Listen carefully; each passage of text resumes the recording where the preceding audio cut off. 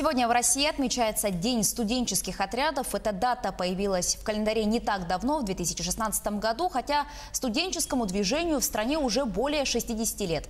Сегодня гость нашей студии, руководитель студенческих путинных отрядов и международного сотрудничества Якутского регионального отделения молодежной общероссийской общественной организации «Российские студенческие отряды» Алексей Амосов. Алексей, я тебя приветствую в нашей студии. Здравствуйте. Вот э, в должности в твоей есть слово «путинные». Это от слова «путина»? Да, это получается слово Путина, то есть мы ребят отправляем на рыбопереработку. В этом году мы планируем отправить Камчатский край традиционно, да, и э, новое направление это в Сахалинской области. Наши ребята, как всегда, поедут э, ближе к лету? Да, получается, это вторая половина июля месяца. У нас э, сколько человек вот э, в студенческих отрядах? Ну, если а, опираться на 2019 год, то мы трудоустроили более 6,5 тысяч а, ребят на, ну, то есть рабочие места, да, то есть это если по головам посчитать, это 3,5 тысячи человек. Это вот по всей республике. А 2019 год еще ознаменовался тем, то, то, что у нас появились новые направления, то есть мы а, усиливаем работу именно вот а, по новым направлениям, то есть мы ребят отправляли по сервисному направлению, также по путинному направлению, ну и традиционно строительные сельскохозяйственные отряды. А вот в- куда именно отправляете? Вот на Камчатку много ребят ездят, еще да, куда? Да, то есть мы отправляли в Сочи, город Сочи Геленджик, это по сервисному направлению.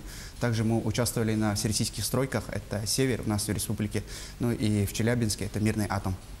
А если смо- посмотреть внутри республики, да, где наши ребята задействованы? Может, в каких-то масштабных стройках? Ну, то есть в 2019 году наши ребята были задействованы на всероссийские стройки «Север», получается, это в Чандинском э, нефтегазоконденсантном да, место, месторождении, это в Ленском районе. Вот мы туда отправили более 70-60 ребят, получается, это три отряда.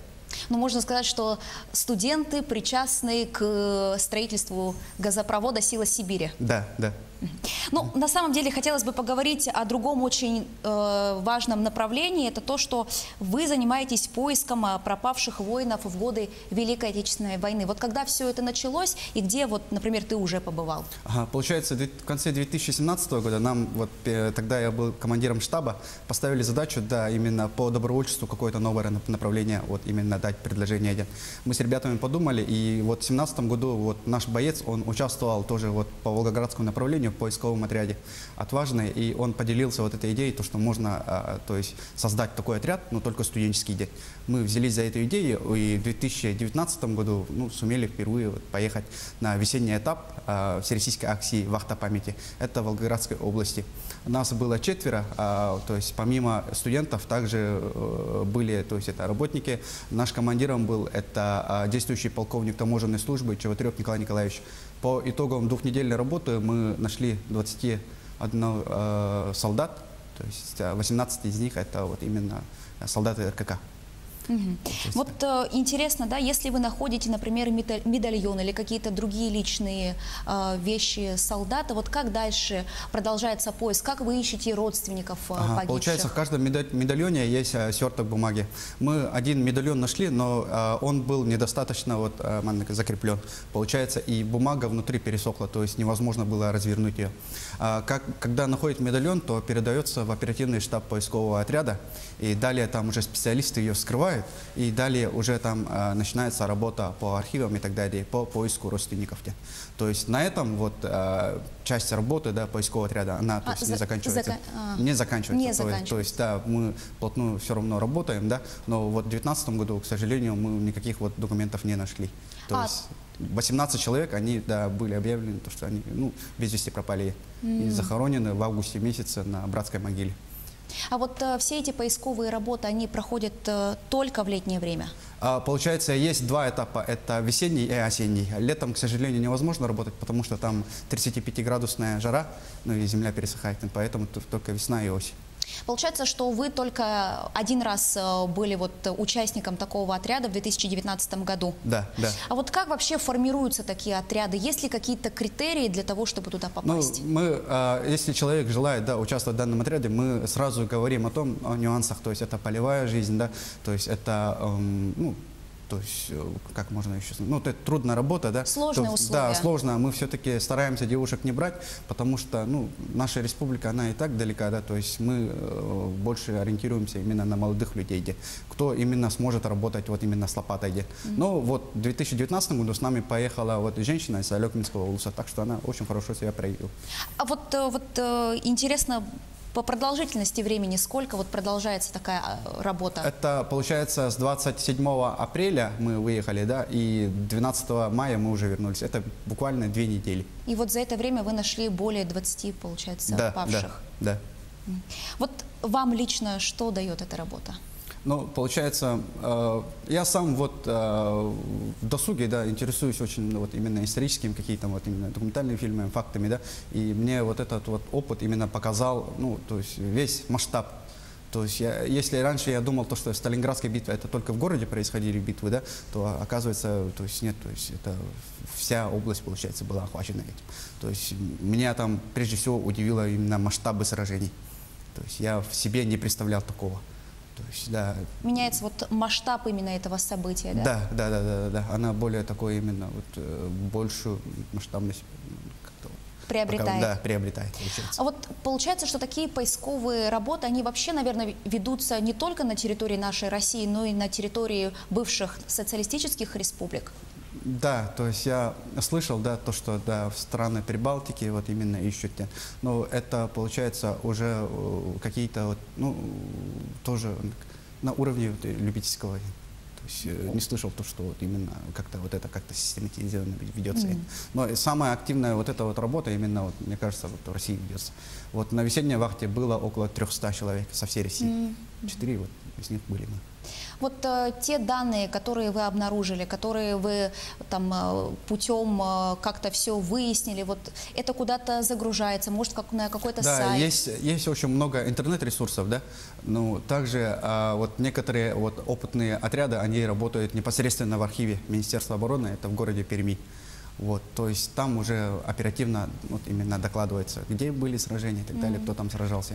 В этом плане очень хороший опыт мне показался именно вот из, Татарс, из Татарстана отряда поискового. Они вот там очень систематизированно ведут работу. Вот также вы занимаетесь э, восстановлением имен э, безвестно погибших. Точнее, вот э, еще одно направление, которым вы занимаетесь, это вы ищете погибших э, по документам архивным документам, Да, да. да. Вот э, сейчас многие, как мы уже об этом говорили, многие вот такие данные, они оцифруются, да, их можно найти на каком-то сайте. Вот э, вы как считаете, такая работа, она необходима? Как эту работу нужно и в дальнейшем продвигать? Да, то есть она необходима, да, то есть надо еще наладить э, систему у нас в республике, да, чтобы поисковые отряды выезжали, какой- оказывать какую-то помощь. Есть а, помощь на уровне грантов, да, то есть а, это гранты Ильдархана непосредственно. Вот тоже мы принимали участие, и в этом году тоже будем принимать участие на именно осенний этап. А, на весенний этап мы планируем все-таки поехать по Рыжевскому направлению. Там организовывается лагерь именно по поисковым отрядам, где вот условия более-менее хорошие, чем в Волгоградском крае.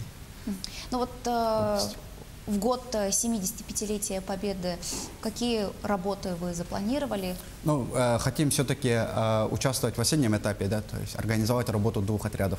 Мы также будем подавать заявку на президентские гранты. Ну, То есть сейчас активно ведется работа по поиску финансирования. То есть в этом плане, да, есть какие-то трудности да, именно с организацией выезда. А, В прошлом году мы участвовали в грантах а, Росмолодежи, но получается наша а, именно специфика региона да, не позволяет именно выигрывать какую-то вот именно часть, потому что основная часть средств уходит на организацию вот транспортировки. Ну вот как раз-таки хотела спросить, вообще это затратно э, вот, организовать такую масштабную поисковую работу? Да, мы в прошлом году сделали проект на полтора миллиона, и более половины, да, то есть около 800 тысяч, это уходило на, чисто на проезд. Только Помимо на этого, проезд. да, нужно еще точное оборудование, чтобы повысить эффективность вот именно поисковой работы. Вот вы сами какую-то инициативу проявляете, куда бы вы хотели поехать, э, как бы вы хотели эту работу там производить? Ага, ну, я опираюсь на нашего командира, да, э, руководителя, это на Чеботарева Николая Николаевича. То есть его опыт, он поисковик уже с, с многолетним стажем. Вот мы опираемся на его опыт прежде всего. А вот именно опытный поисковик, он прежде всего очень важен для отряда. А вот э, такой вопрос. Вот только студенческие отряды, они сами могут отправиться вот на такие работы, или они все-таки должны э, с кем-то взаимодействии производиться? Э, Желательно, да, ну, по своему опыту скажу я, желательно, чтобы в отряде было два человека именно поиск... ну, опытных поисковиков. Опытных. Да, опытных. Э, Потому что работа тогда будет э, вестись более эффективно, более систематизированная. Ну и также у опытных поисковик- поисковиков есть вот именно точное оборудование, которое необходимо вот именно для совершения вот именно поисковых работ. Вот, например, сейчас, если смотрят наш эфир и будут э, сегодня смотреть, если появятся желающие, которые тоже хотят э, заниматься вот такой работой, присоединиться к вам, куда им нужно обращаться? Ну, студентам надо обращаться в региональное отделение по адресу улицы, ну, переулок Жиркова 2Б. А если вот именно более взрослое население, да, есть региональное отделение поискового движения России. У них есть отдельный сайт, то есть информацию можно найти там, как вступить и как начать работу.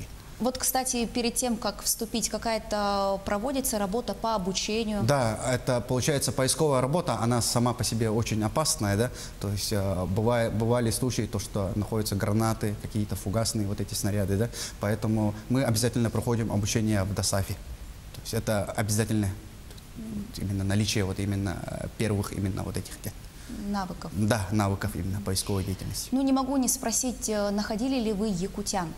А, Получается, к сожалению, в 2019 году невозможно было определить, но опытные поисковики говорят то, что очень было много азиатов, да, то есть среди... А, ну, вот, возможно, да. что. Да, возможно, наши и были. Ну, и большинство ребят, да, то есть это, получается, 20-летние, меньше 20. Меня это очень сильно удивило. Ну и ваши пожелания бойцам студенческих отрядов? Ну, э, своих коллег, да, бойцов, командиров, комиссаров я поздравляю с нашим днем, День российских студенческих отрядов. А Студентам я э, желаю, чтобы вы ну, вступили в данное движение, проявили себя. Большое спасибо. Благодарю, что нашли время, пришли к нам в студию и ответили на наши вопросы. Спасибо. Это была программа «Актуальное интервью» с гостем студии, руководителем студенческих путинных отрядов Алексеем Амосовым. Мы говорили о деятельности студенческих отрядов. Не переключайтесь.